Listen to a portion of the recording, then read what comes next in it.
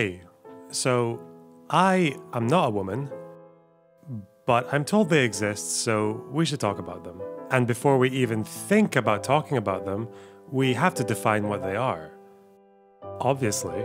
So, what is the definition of a woman? Personally, I don't give a f. I know what a woman is. A woman is what your dad said he felt like when I was railing him last night. But we're at a point now where we have to define what a woman is, and that's because of a guy called Matt Walsh.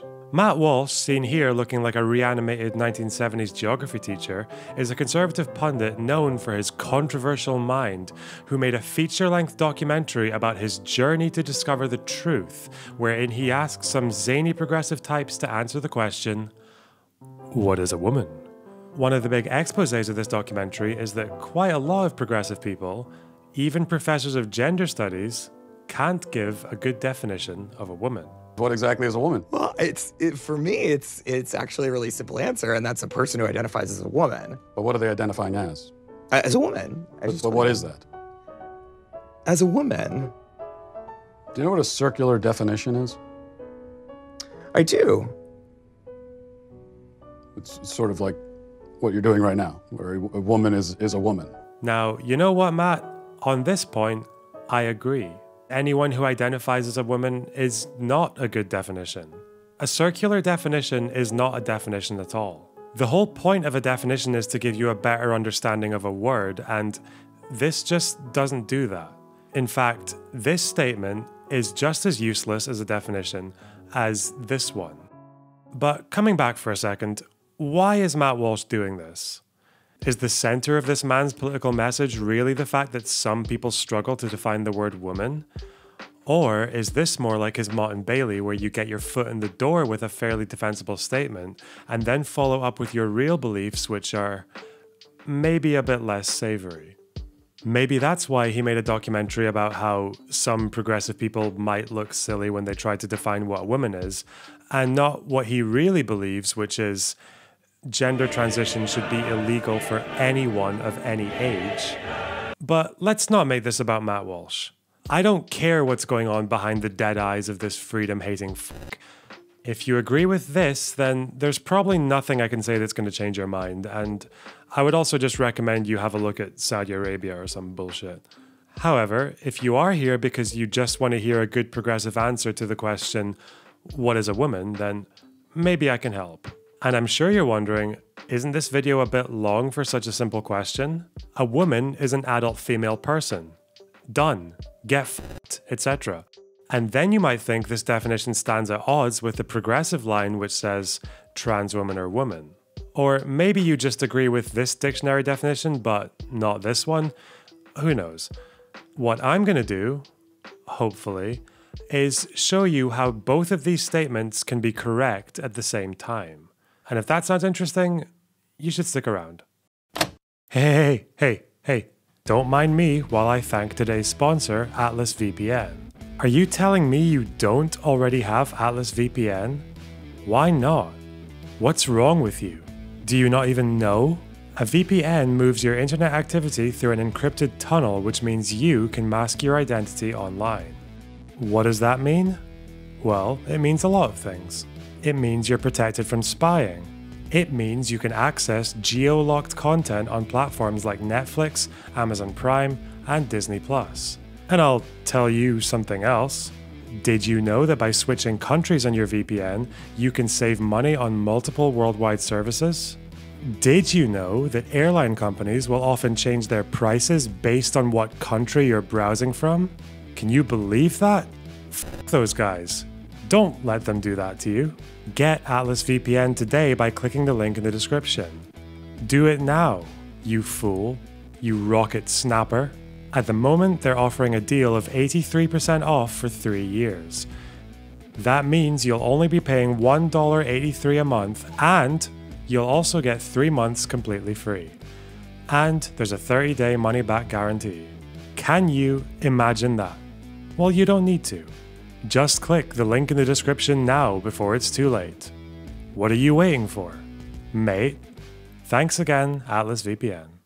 Part 1 Definitions. The narrative presented here by Matt Walsh is quite simple. Woman is a simple, age old concept, but these dastardly progressives are out here twisting themselves up into pretzels, trying to find a definition that doesn't exclude their trans allies, and that's funny. Classic conservative W. When Matt Walsh asks what is a woman and people can't give him a succinct answer, it gives the impression that conservatives are confused about what should be a really simple term. But I would argue it isn't so much these people who are confused about women, it's Matt Walsh who is confused about language. Look at this picture. That is your humble narrator, Toddler Box, at the age of three. By then, I already knew that this picture was taken with a camera. I was able to tell what a camera was, and I was mostly able to tell cameras apart from things that were not cameras. But how? Did I know the definition of a camera? Do you know the definition of a camera? When you identify a camera, are you consciously checking whether or not it's in fact a device that consists of a lightproof chamber with an aperture fitted with a lens and a shutter through which the image of an object is projected onto a surface for recording, as on a photosensitive film or an electronic sensor, or for translation into electrical impulses, as for television broadcast? No. If you were to think about all the words you know, how many of them did you really learn by consulting a dictionary? Probably not many. If a child asked you, What is blue? would you really say, A color whose hue is that of a clear sky or that of the portion of the color spectrum lying between green and violet? Or would you not just point at something blue? What you definitely could not do is come up with a definition that includes all things blue and excludes all things that are not blue. No universal definition will tell you where blue ends on this spectrum and something that is not blue begins. The point is, definitions do not always provide us with strict rules or boundaries. They very rarely do. When you try to act as if they do, you can end up looking like a bit of a walloper. And no one can demonstrate this issue better than the former television writer Graham Linehan. In one of his many Twitter exchanges with trans rights advocates, Graham was asked to define chair in a way that includes all things which are chairs and excludes all things which are not. To which he responded, a separate seat for one person, typically with a back and four legs. Happy to help, but try Google next time. The definition of woman is there too. Heh! Now, I'll give you a second to answer this question.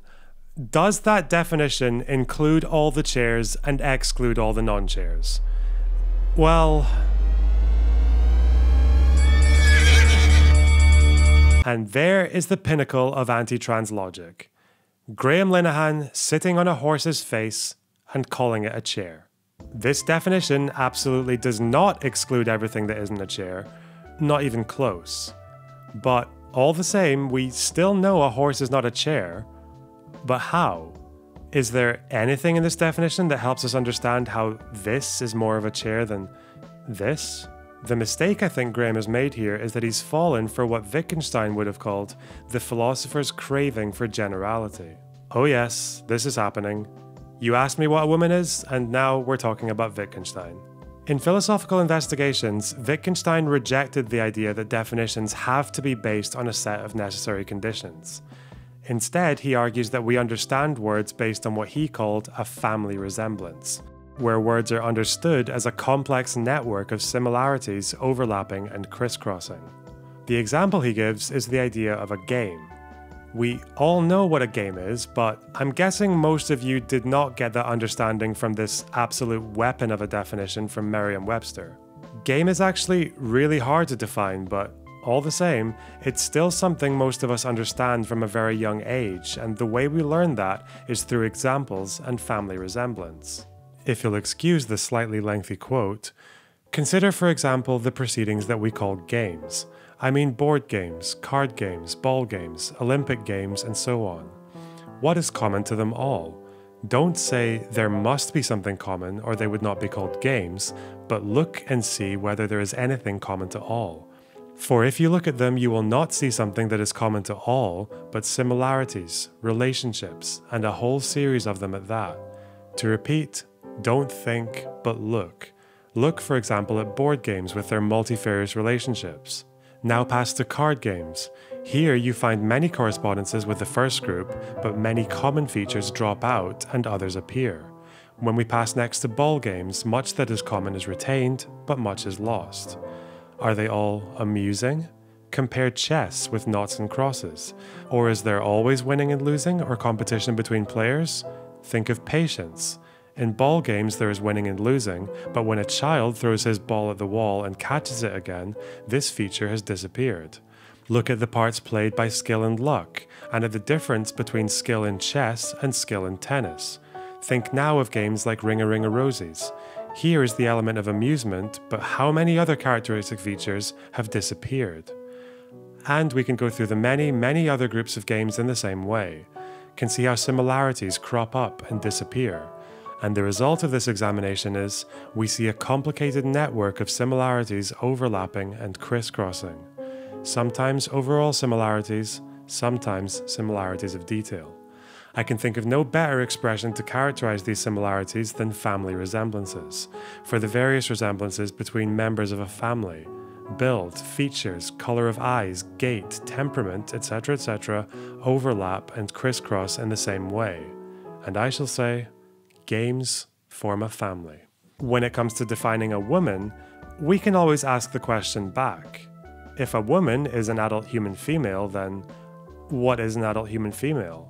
Is there some essential feature that separates adult human females from all the non adult human females? Well, if we're going by the most rigid definition of sex, the essential feature of a female would be her capacity to make bebe. And that's simple, isn't it? In nature, the females release the eggs and the males produce the sperm.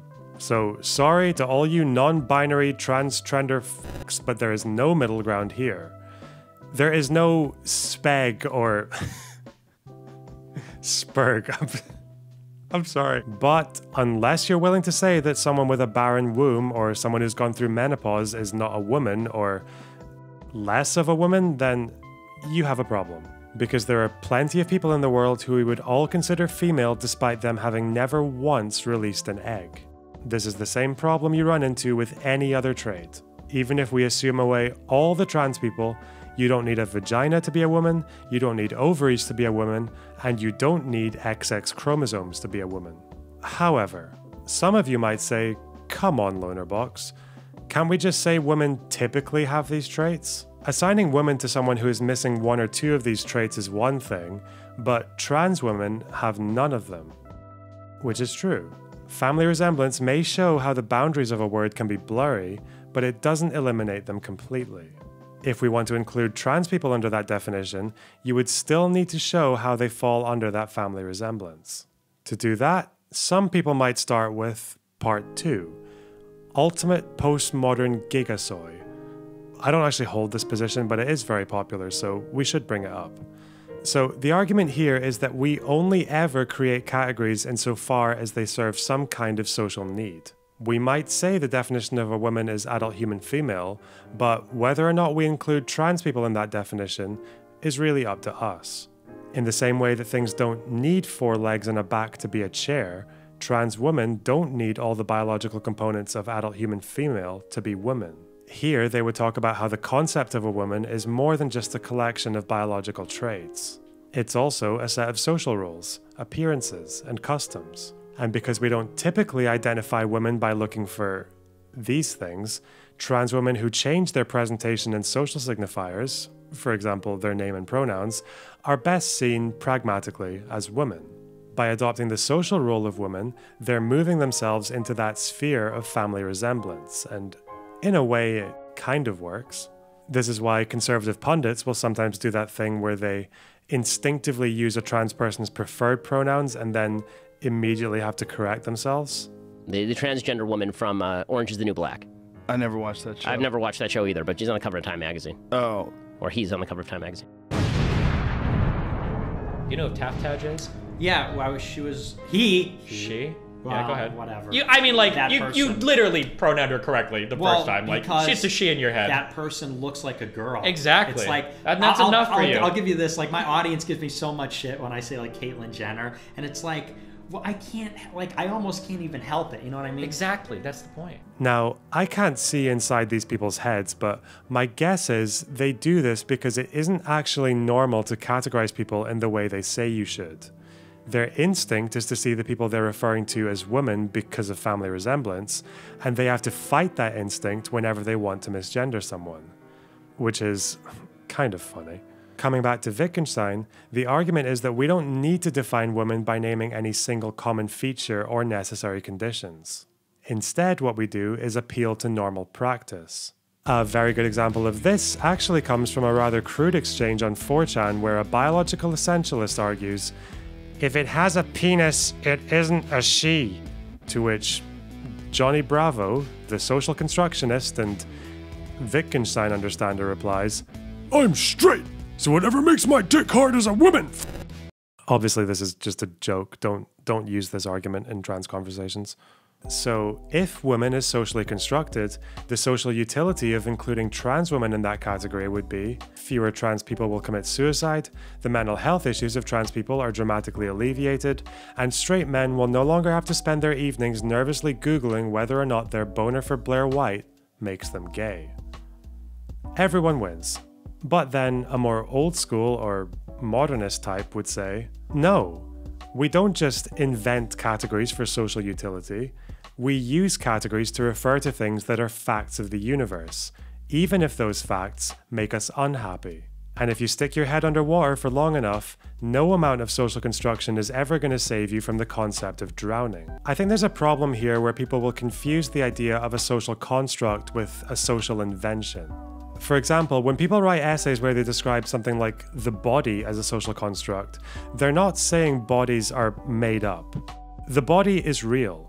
The social construct only refers to the way we understand it. If we go down the line of treating gender purely as a social invention that only exists because we agree it does, I would argue that that can take you into some kind of difficult places. For example, if everyone in society decided tomorrow that trans people don't exist, would they just stop existing? If your answer to that is no, then you are accepting that there is something internally real about trans people. Whatever that something is, it wasn't socially constructed into existence, nor can it be socially constructed away. And whatever it is that makes people trans, it's no less real than oxygen, water, or your mum. And if you reject that notion, you do run the risk of running into what I would call part 3 the TERF trap. So, some people who are pro trans will argue that sex and gender are completely separate. Sex refers to observable biological truths, and gender is all of the social rules and expectations that are placed on males and females. In that case, a woman's sex would be XX chromosomes, ovaries, vaginas, and their gender would be, uh, uh, good luck filling that one in without stereotyping women. And the problem with this aside from the one I've just mentioned, is that this is basically a TERF argument. I've noticed recently that TERFs will use this very sneaky tactic where they try to adopt the language of gender abolitionists. They'll say, all gender roles are oppressive. They're costumes that are forced upon us through thousands of years of objectification, patriarchy, capitalism, and all that. But bubbling just below the surface of that progressive sounding rhetoric is the message You are the sex you were born as, bitch, and no amount of makeup and dresses and pronouns will ever change that. The other problem with the sex and gender are completely separate line is that it does suggest being trans is nothing more than a social phenomenon. If sex is strictly biological and gender is strictly social, then transgender identities would have no factual basis to them. And if your gender identity is nothing more than a social invention, that would suggest that transness is something that could be socialized into someone. Or worse, socialized out of them. And based on our current understanding of trans people, that definitely doesn't seem to be the case. That's why conversion therapy doesn't work. Not on trans people and not on cis people. The question it might help to be able to answer is why are some people trans? Clearly, it's something in their psychology, and this is where I think progressives should be a lot more willing to challenge anti trans types on their own ground. Because according to an increasing number of biologists, the answer to where being trans comes from might just be in the brain. I emphasize the word might because the brain is the most complex organism in the known universe and our knowledge is very limited, but there is a growing consensus among biologists that we do have something called brain sex. Now, I can confirm that brain sex is real, but I don't want to go into that here because I don't want to embarrass your mum. Now, the evidence for trans and cis people having different brains is not simple. Without getting too bogged down, I'll just give you a rapid fire. Trans and cis women have similar levels of activity in the right superior frontal gyrus, the part that helps people distinguish voices. Trans men and women seem to have their own levels of mean diffusivity that diverge from cis people. Their levels of connection between neural networks are different from those of cis people. And trans and cis women have similar sized central subdivisions of the bed of the nucleus of the stria terminalis. Um, who am I kidding? Uh, apparently, that's the part of the brain that has a lot to do with sexual behavior. The point is, there's something going on here. If this really is the case for trans people, it would suggest that biological sex and gender identity are not completely separate. And given that the body and brain develop at different times and biological sex is already kind of messy, it isn't hard to imagine the idea of the body sometimes going one way and the brain going another. The real question is how do we group people when their gender identity is misaligned with their body? If you're a sex essentialist, you would just say follow the gonads because that's the most literal definition of sex. But biologists don't seem to think it's that simple, and you can demonstrate that without even referring to trans people. Let me introduce you to congenital adrenal hyperplasia. Congenital meaning the condition is present at birth, and adrenal hyperplasia meaning their adrenal glands are slightly larger than usual. Now, that doesn't sound like much, but within this group, there is such a thing as people who have XX chromosomes and ovaries, but also fully formed penises. So, what do we do here? Well, if you saw one of them newly born, you'd probably just assume they were male, but when these people ended up in hospitals, doctors would traditionally identify them as females because I guess they thought eggs come first. But this decision was later criticized as a dogmatic approach to gender assignment, and people have since argued to categorize them as males. And one of their reasons for making this argument was that the patients, despite their mixed biology, all identified as males. In other words, their gender identity overrode what we would typically understand as their biological sex. So, when we're asking the question, is the innate gender identity of a trans woman enough to include her in the category of woman? I would say the answer is yes, and here's why. Suppose you woke up one day and your brain had been placed in someone else's body. You still have your memories, your conscious experience, your sense of self, and all that, but every other part of your body is someone else's. Now, are you you or are you the other person? Bob, would you feel more comfortable if people addressed you by your name or by Bob's name? Now, okay, this is a rhetorical question, but the answer is you would still be you, and you, everyone agrees with me. And I know that because I remember the body swap scene from Scooby Doo. Like, why am I wearing? Everyone remain calm. Velma, the heck's going on? If my calculations are correct, due to the fragile nature of unstable. And that is not even the best example. Do you know who else agrees with me on this? J.K. Rowling agrees with me. When Harry drank the polyjuice potion and found himself in Goyle's body, did he stop being Harry? Or better, when Hermione drank the polyjuice potion with a cat hair on it, did she become the cat? No. Every cell in her body was that of a cat. Well, maybe not her brain. I, I don't know how that works. Magic. But all the same, she was still Hermione because her identity, her sense of self, came first. She wasn't mentally ill, she wasn't delusional. She knew exactly what was going on with her body, and when she acknowledged that her mind was out of congruence with her body, she wasn't wrong. In fact, being in the cat's body was kind of distressing for her. She didn't want to come out of the cubicle. What she was experiencing was a kind of dysphoria, perhaps. And if the polyjuice potion was irreversible, the treatment for that dysphoria would have been to bring her body back into line with who she identified as. For society to recognize her as Hermione the girl and not the cat, whatever its name was. Trans positive J.K. Rowling arc. We, we can be hopeful. Now, of course, no one is treating the idea of the sexed brain as settled science. The brain is complex. You're complex. I'm complex. Your mum is complex. In fact, there's so much variation that the idea of there being any kind of gender binary of the brain is completely out. I guess you could make one objection. We do know about a few differences in the brain between trans and cis people, but none of these actually tell us what it is in the brain that makes a person trans. To which I would argue that that burden of proof isn't really needed. We still don't even know what makes a person gay, but we have nonetheless managed to come this far by treating homosexuality as something that is innate and immutable.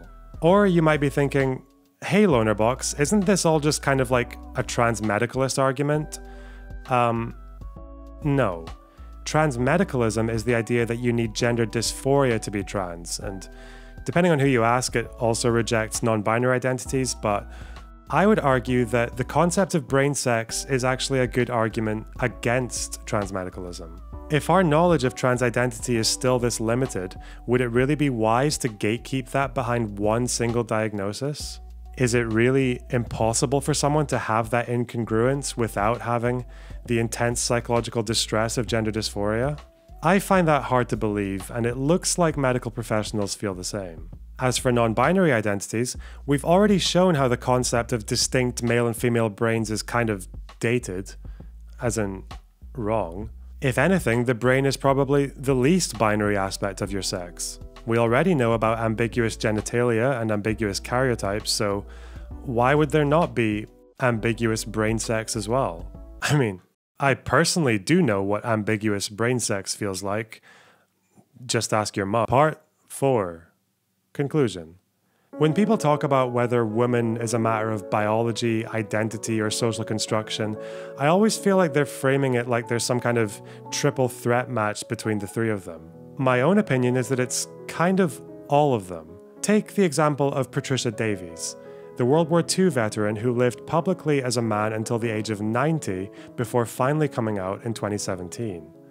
Like many trans people, Davies learned that she was trans incredibly early on in her life, at the age of three to be exact.